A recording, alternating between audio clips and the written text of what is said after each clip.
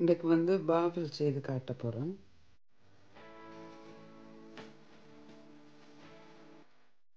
இதில் வந்து தேவையான பொருட்களும் இதன் அளவுகளும் எழுதி வச்சிருக்கேன் பாருங்க இந்த அளவுகளின்படி நீங்கள் கிட்டத்தட்ட ஒரு பத்து வாஃபில் சுடலாம்.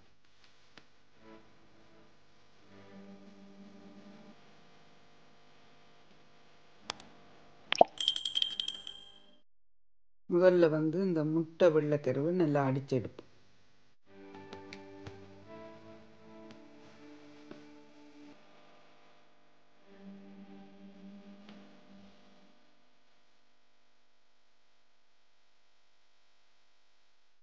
முட்டை வெள்ளைக்கரு ஒரு பக்கம் வச்சுட்டு இனிமா எப்படி கரைச்சி எடுக்கிறேன்னு பார்ப்போம்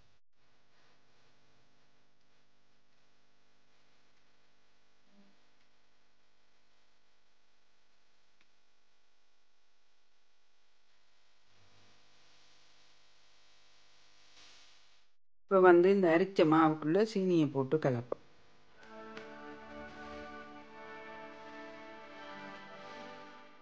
நீ வந்து இந்த முட்டை மஞ்சள் கருவையும் போட்டு பாலில் அரைவாசியும் விட்டு கலப்பு.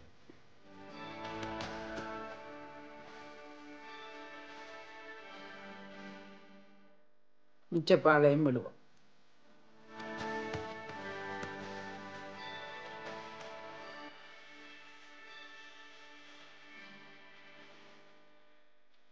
சீனி கரையை மட்டும் அடித்தா காணும்.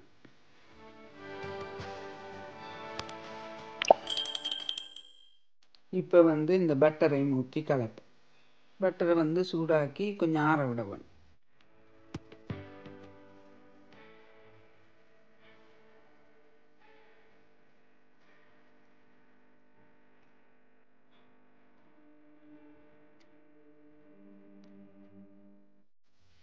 நான் கொஞ்சம் வெனிலா விடுறேன் வாசத்துக்காக நீங்கள் விடுறேன்டா விடலாம். விடாமலும் விடலாம்.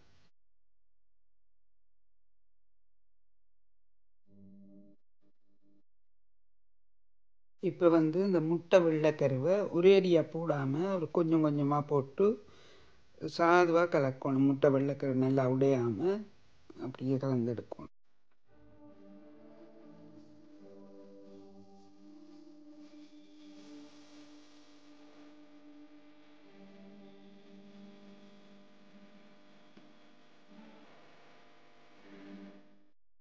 இந்த இந்த மாவெல்லாம் கரைச்சி போட்டு நீங்கள் ஃப்ரிட்ஜுக்கு வைக்கிறேன்டா ஒரு பத்து மணிக்கு எல்லாம் வச்சு போட்டு சுடலாம்.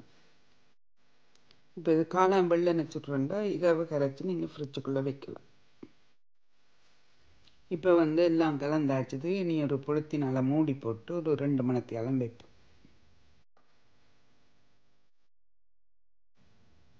இப்போ வந்து ரெண்டு மணிக்கு எல்லாம் ஆயிட்டுது எடுப்போம்.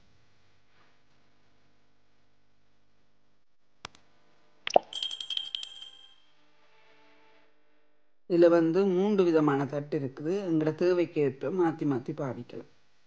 இதில் வந்து மீன் அல்லது இறைச்சி போட்டு வாட்ட பாவிக்கலாம். இது வந்து சாண்ட்விச் எதாவது செய்ய பாவிக்கலாம். இப்போ வந்து இதுதான் பாவிக்க போகிறோம்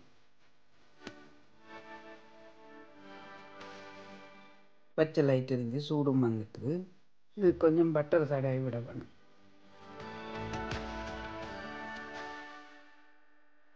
இதுக்கு வந்து நீங்கள் ஆகும் கணக்கு ஊற்றக்கூடாதுன்னா கணக்கு ஊற்றினா பொங்கி வலி.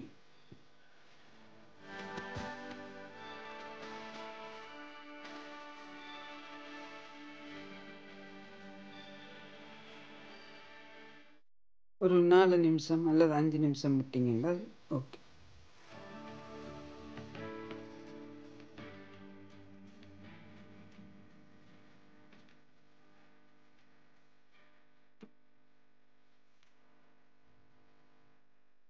இப்படி ஒரு ப்ரௌன் கலர் வரையக்குள்ளே எடுக்க வேண்டும்.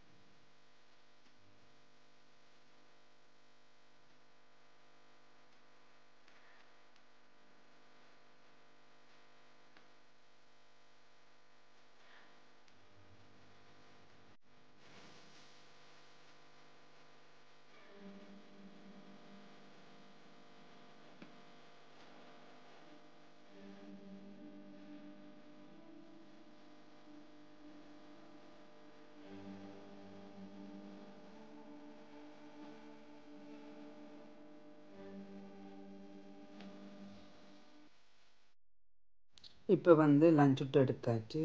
நீங்களும் இப்படி செய்து பார்த்து எப்படி இருக்குன்னு சொல்லுவோம் இதுக்கு வந்து கொஞ்சம் ஐசிங் சுவர் மேலால் தூவி போட்டும் சாப்பிடலாம். இல்லைன்னா சொக்கோலா பூசி சாப்பிடலாம். தேன் கொஞ்சம் மட்டும் சாப்பிடலாம். அல்லது ஜாம் பூசியும் சாப்பிடலாம்.